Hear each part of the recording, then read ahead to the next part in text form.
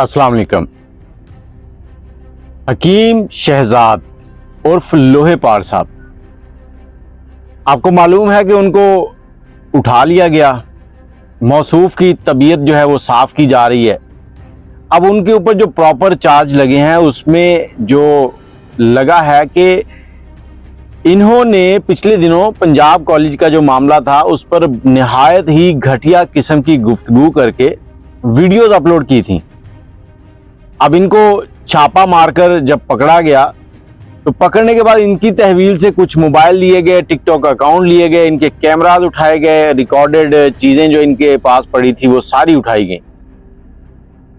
जिसमें बताया जा रहा है कि बहुत सी ऐसी वीडियोस हैं जो नहीं होनी चाहिए थी। बहुत सा ऐसा मवाद जो कि इनके व्हाट्सएप पे अपने कस्टमर्स के साथ है, वो भी नहीं होना चाहिए था। मतलब ऐसी गुफ्तगु, ऐसी बदजुबानी जो एक आम इंसान नहीं करता। कहते हैं कि ज़ुबान जो है उसको कंट्रोल करना चाहिए। अगर आपकी ज़ुबान आपके कंट्रोल में है तो सारी दुनिया आपकी इज़्ज़त करेगी। और अगर आपकी ज़ुबान आपके कंट्रोल में नहीं है तो सारी दुनिया आप पर लान तान करेगी। वकीम शहजाद साहब, ऐसा बेलगाम घोड़ा हो चुका था कि जिसने अब मुँह खोलकर सबको खाने की कोशिश करना शुरू कर दी थी। इन साहब ने आमिर लियाकत साहब मरहूम अल्लाह पाक उनकी मगफरत फरमाए। उनकी बेवा जो सबसे आखिरी वाली थी, दानिया, उनके साथ शादी की और उस शादी के बाद ये खबरों में आए। फिर ये अरशद नदीम के घर गए। अब अरशद नदीम वाले मामले पर मैं एक चीज़ कहना चाहूँगा कि जिस तरह इन्होंने अरशद नदीम को वो पैसे दिए थे, अरशद नदीम शायद यही डिज़र्व करता था। हमारा हीरो है, मैं अपने अल्फाज पर माफ़ी भी चाहता हूँ, लेकिन एक बंदा 2016 से लेके 2022-23 तक अच्छे अहदे पर फायज है और वो अपने आप को इस तरह से शो करवाए जैसे कि वो दुनिया का गरीब तरीन शख्स है तो फिर आगे से देने वाला बंदा भी ऐसा ही होता है। लेकिन इनका पैसे देने का तरीकाकार भी गलत था। अरशद नदीम का जो तरीकाकार था, वो भी गलत था। क्योंकि उन पे घर पे गए हुए किसी भी शख्स को ना पानी पिलाने का बंदोबस्त था, ना कुछ और। अब लोहे पहाड़ साहब ने उनको ऐसे पैसे दिए जैसे किसी फकीर को भीख दी जाती है। उसके बाद ऐसी वीडियोस आई कि अरशद नदीम को किसी अपने रिलेटिव के ज़रिए इनको कॉल करवानी पड़ी कि भाई अपने पैसे वापस ले जा। तो इन साहब ने उनकी वो कॉल भी लगा दी नेट के ऊपर, क्योंकि इनको तो सिर्फ़ अपनी फक्की बेचनी है। ये चाहते हैं कि ये वायरल रहें और इनकी फक्की जो है वो बिकती रहे। अब साहब की फक्की जो है वो चल रही है। फक्की की मांग थोड़ी सी कम हुई। तो इन्होंने हिबा बुखारी जो एक अवेयरनेस के लिए प्रोग्राम कर रही थी, एक शो में गई हैं कि प्रेगनेंसी के बाद, उनको भी नहीं जाना चाहिए था। अगर गई हैं तो लिबास का एहतराम करना चाहिए था। एक इंसानियत, एक ये कह लेंगे हमारा मुआशरा इस्लाम, उसके मुताबिक कुछ बेहतर लिबास में जाना चाहिए था। ज़रूरी नहीं कि आप अपना आप सारा दिखा के तो फिर ही लोगों को अवेयरनेस देंगे। आपको कुछ मुनासिब तरीके से जाना चाहिए। तो उनके ऊपर इन्होंने कहा कि उनको अमल जो है वो नहीं ठहरता था। उनकी जो नौकरानी है वो खुफिया तरीके से आई थी वो लाइन में लगी हुई थी। लंबी लाइन थी, शाम को उनकी बारी आनी थी। मैंने उनको एक साइड से अलग से बुलाया। उनको मैंने कहा, बीबी, आप आगे आ जाएँ। उन्होंने मेरी बात भी करवाई इनसे, और फिर वो मुझसे दवाई लेके गए, जिसकी वजह से वो इस वक्त हामला है। और इस वक्त हकीम लोहे पार साहब जो हैं, वो इस तरह से हाथ जोड़ के माफिया मांग रहे हैं कि, माई बाप, मुझे माफ़ कर दो, मुझे जाने दो, मुझसे गलती हो गई है। अब मैं ये कहूँगा कि कैसा ये पागल शख्स है। उसके बाद इसने एक और टॉपिक चूज़ किया। शाहिद अफरीदी साहब, हमारे बहुत ही फ़ेमस क्रिकेटर हर दिल, हर दिमाग की वो धड़कन, हर दिल की जान। उनके बारे में कि अल्लाह पाक ने उनको बेटियाँ दी है। अगर मेरे पास आए तो मैं गारंटी से कहता हूँ कि मेरी दवाई खाएँगे और वो उनको बेटा होगा। कैसा बदबख्त इंसान है कि जो इस बात पर भी बहस कर रहा है कि जो चीज़ अल्लाह ने कहा है कि मैं देता हूँ, मैं बेटियाँ दूँ या बेटे दूँ, उस पर भी जाके ये बहस कर रहा है कि मैं इसको बदल सकता हूँ।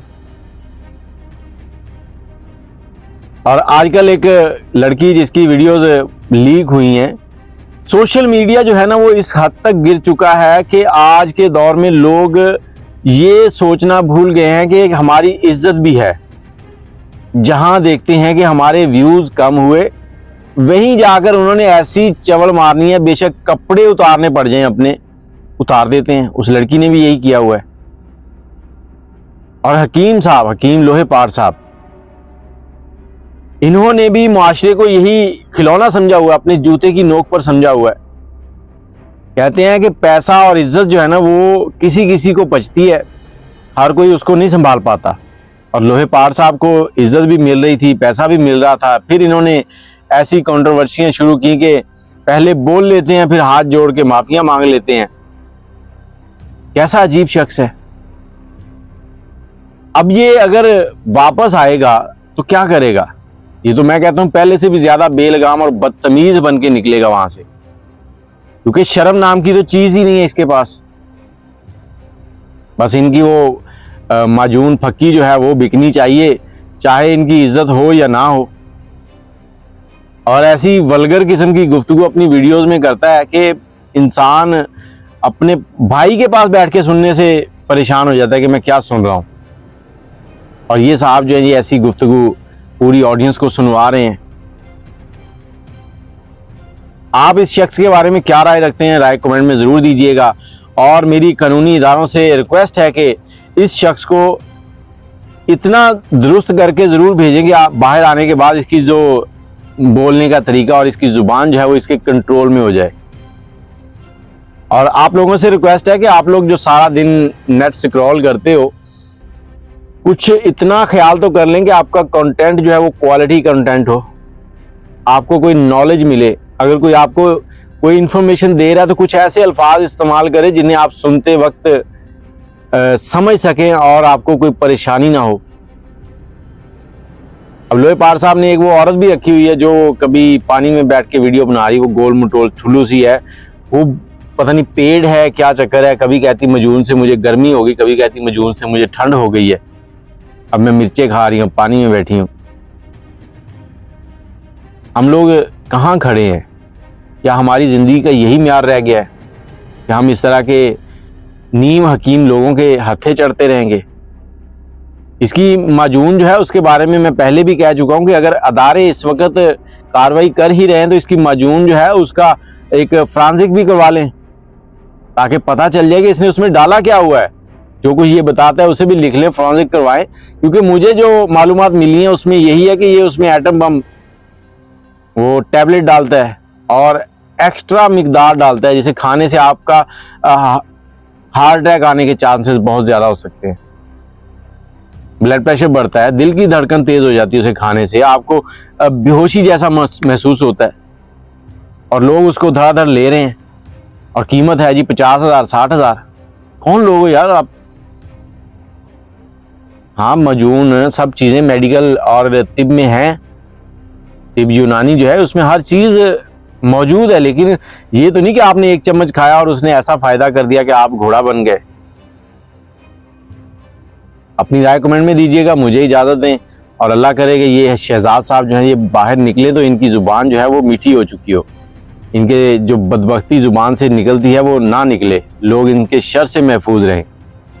अल्लाह हाफिज़।